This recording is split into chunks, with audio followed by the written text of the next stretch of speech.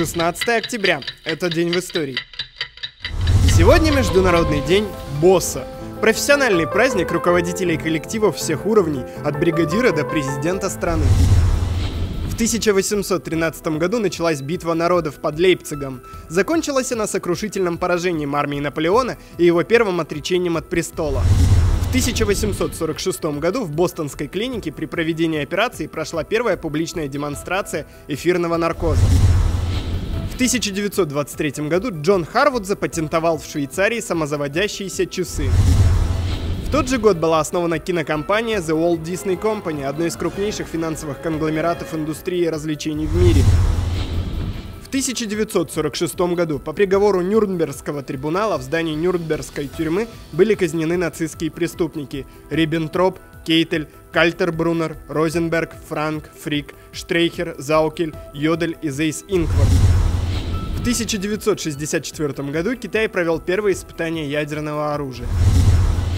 1978 году Иоанн Павел II стал 264-м папой римским и первым неитальянцем на папском престоле с 1523 года, одним из самых молодых понтификов в истории и первым папой славянского происхождения. Кроме того, этот день в Польше отмечается как День Иоанна Павла II. В 1982 году госсекретарь США Шульц пригрозил выходом Америки из ООН в случае исключения оттуда Израиля.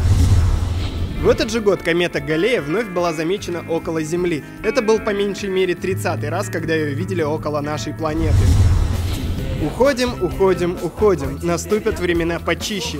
В 1983 году была создана группа Мумий Тролль.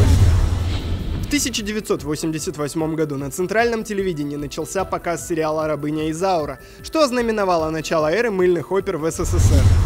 В 2006 году в Москве состоялось знаменательное событие. Широкому кругу российских читателей была презентована книга из серии «Жизнь замечательных людей» Мухтара Уэзов. Книга, повествующая о судьбе нашего знаменитого соотечественника, стала очередным 1206 выпуском известной книжной серии. День рождения в этот день отмечал писатель Оскар Уальд, а отмечает день рождения Илья Лагутенко, вокалист и лидер группы Мумитроль, которая, как я говорил, была основана в этот же день. И помните, с нами вы всегда будете знать, что произошло в каждый из 365 дней в году.